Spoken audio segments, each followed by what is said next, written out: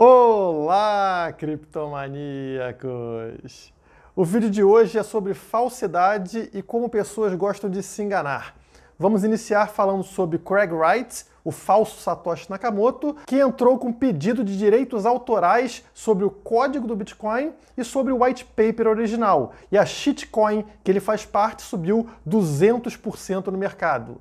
Falaremos também sobre a FX Trading, uma empresa aí que muitas pessoas desconfiam ser pirâmide e que agora teve suas operações suspensas no Brasil. E por último, vamos falar sobre o Facebook, aquela empresa que defende regulamentações socialistas nos Estados Unidos, mas que na hora de abrir sua empresa de criptoativos escolheu a Suíça, um dos países com leis mais liberais para as criptomoedas.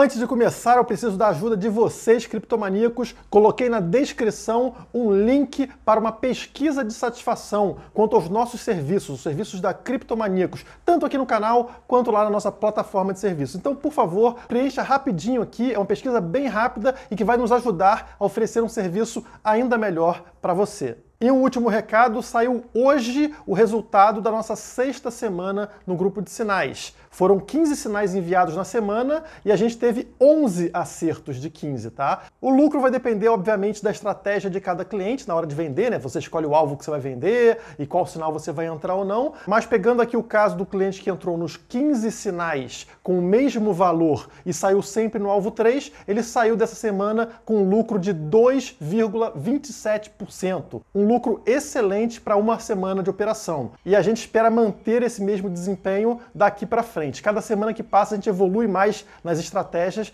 para conseguir retornos positivos. Se quiser fazer parte do nosso grupo de sinais, grupo VIP e também de serviços como tutoriais, análises gráficas e notícias diárias, basta acessar o link do nosso site aqui na descrição: www.criptomaniacos.io. Bom, a maioria das pessoas do mercado de criptomoedas conhece o Craig Wright. Craig Wright era um dos nomes importantes ali do projeto da Bitcoin Cash.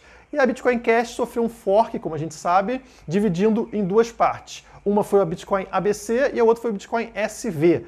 E o Craig Wright é o responsável por esse projeto, por esse fork Bitcoin SV. E ele diz ser o verdadeiro Satoshi Nakamoto, então que o projeto dele é o verdadeiro Bitcoin. Obviamente essa alegação é ridícula porque ele não apresenta provas concretas quanto a isso, mas ele sempre fica tentando inflar o ego dele e convencer pessoas de que ele realmente é o Satoshi. Como a estratégia dele não estava funcionando e a shitcoin dele estava sendo expulsa de diversas exchanges, ele resolveu apelar um pouquinho mais agora pedindo direitos autorais sobre o código do Bitcoin e sobre o white paper original. Isso não muda absolutamente nada, porque qualquer um pode pedir direitos autorais sobre qualquer coisa. Você faz esse pedido e esse pedido fica registrado. E agora outra pessoa pode entrar lá também com o pedido e isso vai ficar registrado da mesma forma. Não altera nada, mas serve para uma pessoa golpista como Craig Wright colocar isso no site dele, passar essas informações para as outras pessoas e pessoas inocentemente, pessoas principalmente que confiam no Estado, vão ler aquela informação de que existe um registro do Craig Wright pedindo direitos autorais e vão confiar que ele realmente Satoshi Nakamoto ou que a criptomoeda dele é realmente o Bitcoin oficial. Então, para ele, para o que ele faz no dia a dia, isso é muito válido, porque ele convence pessoas de que ele realmente é quem não é. É muito simples ele convencer a todos nós de que ele é realmente Satoshi Nakamoto. Basta ele pegar lá a carteira original, que está lotada de bitcoins, que foi a carteira do Satoshi Nakamoto que nunca foi mexida, e mover a carteira. Pega um pouquinho de bitcoin e transfere para uma outra carteira. Assim ele vai provar que é ele que tem a posse daquela carteira original de Satoshi Nakamoto. Obviamente ele não vai fazer isso porque ele não é o Satoshi, mas ele vai continuar usando desculpas e argumentos totalmente infundados para afirmar que ele é quem não é. Mas você não precisa de nada disso para ter certeza que ele não é o Satoshi Nakamoto.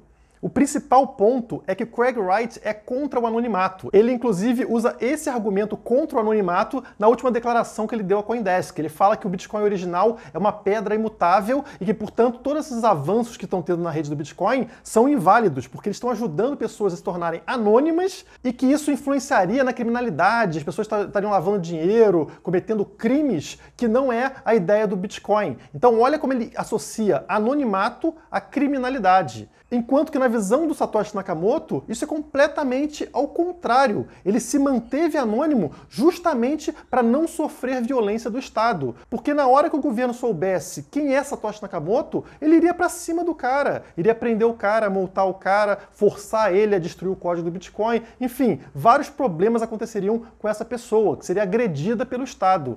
É por isso que o Satoshi é anônimo e sempre se manteve assim e sempre vai se manter assim. É uma questão de não poder ser atacado pelo Estado. Satoshi Nakamoto valorizava o anonimato como forma de defesa do indivíduo, que é o oposto do que faz o Craig Wright, que defende que o governo saiba quem são as pessoas, as pessoas sejam obrigadas a colocar o rosto, porque caso contrário, elas são criminosas. Então, notem que não existe nada em comum entre as duas figuras.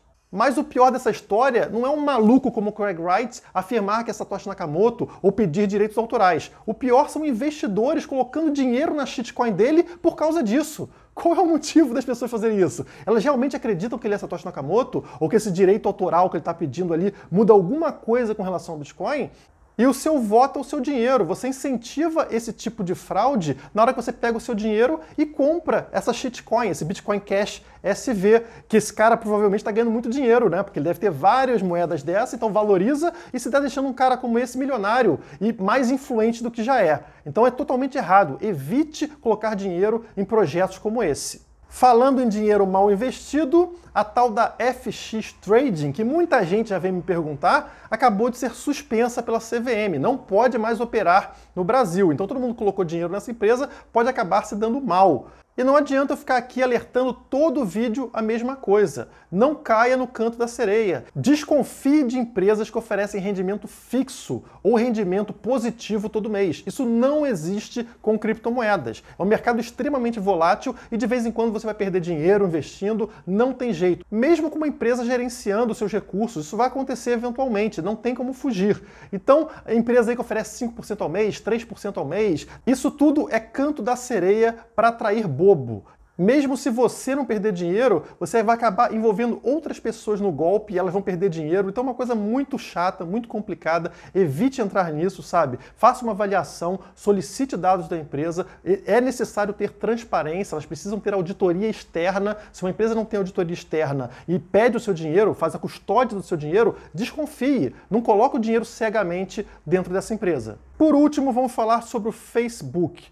Como vocês sabem, o Facebook está muito interessado em criar uma criptomoeda própria. E para isso eles precisam registrar uma empresa para tocar esse projeto, que é o projeto Libra. Até aí tudo bem, mas de repente surge a notícia de que eles não vão registrar essa empresa nos Estados Unidos, e sim na Suíça. Ué, por que, que o Facebook está fazendo isso? Vamos pensar bem. O Facebook é uma empresa americana e o seu fundador Mark Zuckerberg, além de colaborar com o Senado, defende a regulamentação estatal sobre o mercado, regulamentações bem socialistas, por sinal. Inclusive, a maior parte das doações do Facebook são para o Partido Democrata, que é o partido de esquerda lá dos Estados Unidos. Ou seja, ele defende mesmo um Estado grande e poderoso intervindo no mercado. Por que então, na hora de registrar sua empresa de criptomoedas, ele não fez isso nos Estados Unidos, sob essa regulamentação pesada que ele defende? Por que, que ele está fugindo para a Suíça, onde as leis são muito livres? É um país liberal com relação às criptomoedas. Ele não está sendo contraditório? Se ele defende as garras do Estado em cima dos empresários americanos, por que, que ele não atua sob essas regras? Por que ele está fugindo lá para a Suíça? O motivo dessa hipocrisia é bem simples e é o mesmo que leva outros bilionários ao redor do mundo a serem socialistas, porque o socialismo funciona como defesa para quem tem muito dinheiro. Imagine um pequeno empreendedor tentando competir com o Facebook. Se ele tem total liberdade de tentar, de buscar coisas diferentes, não existe regulamentação que impeça ele de tentar fazer algo novo, ele vai crescer se ele for bom. Agora, se existir uma regulamentação bem pesada e também uma carga tributária muito forte, é muito difícil que esse pequeno empreendedor consiga prosperar. Então imagine que o Facebook está aqui e esse novo empreendedor está aqui.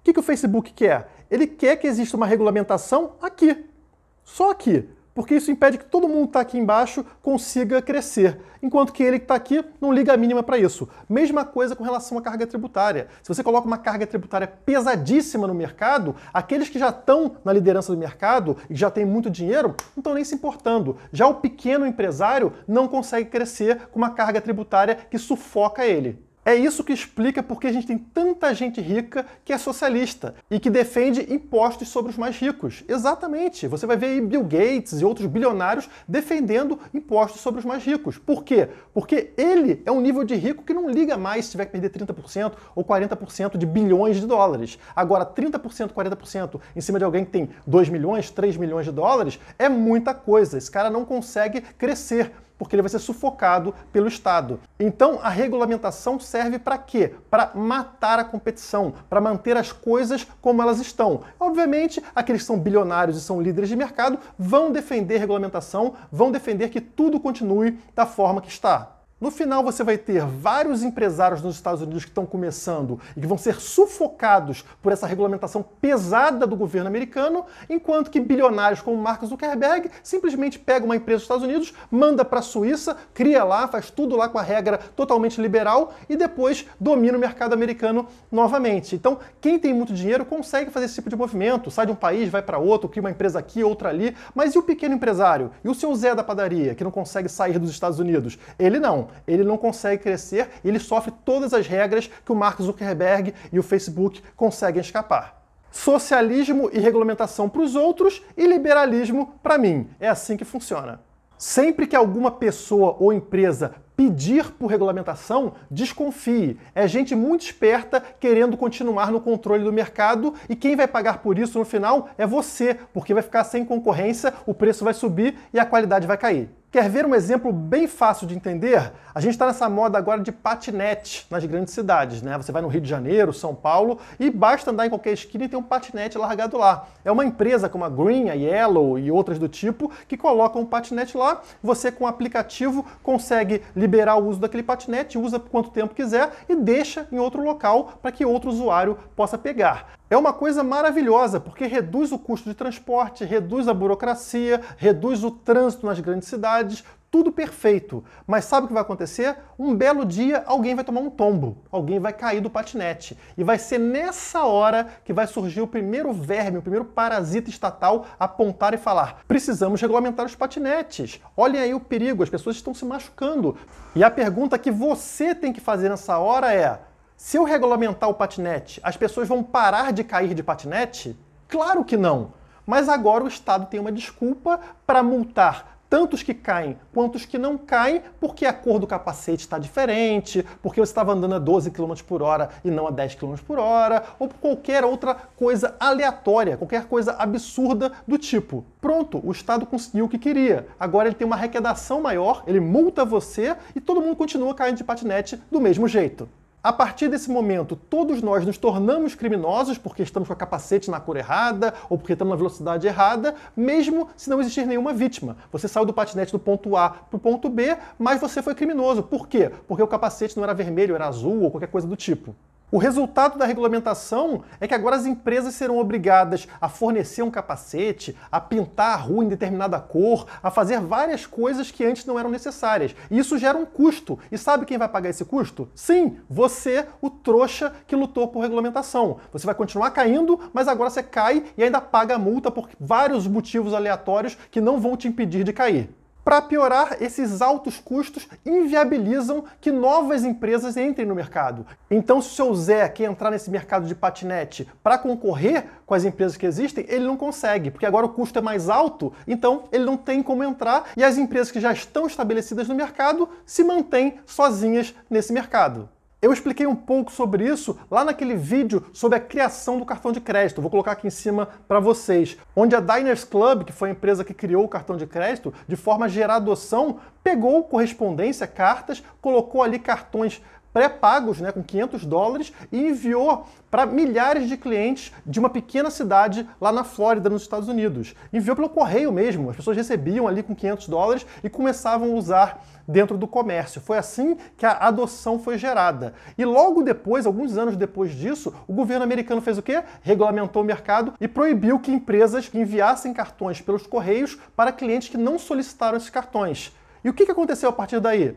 O mercado ficou travado em duas grandes empresas, Visa e Mastercard. Não tinha entrada para outras empresas, porque qualquer empresa pequena que quisesse repetir aquilo que foi feito pelo Diners Club não poderia mais, porque o Estado proibia por meio de regulamentação. Novamente, regulamentação matando concorrência, botando dinheiro somente nas mãos dos mais ricos. É por isso que os mais ricos defendem regulamentação, defendem o Estado grande, defendem o socialismo. E você aí pequeno, não seja socialista. Você quer crescer, você quer ter liberdade de empreender, de ter novas ideias, de tentar algo inovador, como a Diners Club fez lá atrás. Você não quer ser podado agora, depois que essas empresas tiveram liberdade para crescer, para agir, para se desenvolver, porque isso não é justo. Então, defenda a liberdade para todos, inclusive para você. Jamais troque a sua liberdade ou a liberdade dos outros por uma falsa segurança. O Estado sempre vai querer te convencer de que tudo é perigoso. As pessoas caem de patinete, mesmo se for um caso a cada um milhão de casos, ele vai pegar aquele caso do patinete, a pessoa que caiu, fazer um drama em cima daquilo para regulamentar o mercado. Caiu um avião, caiu um a cada 10 milhões.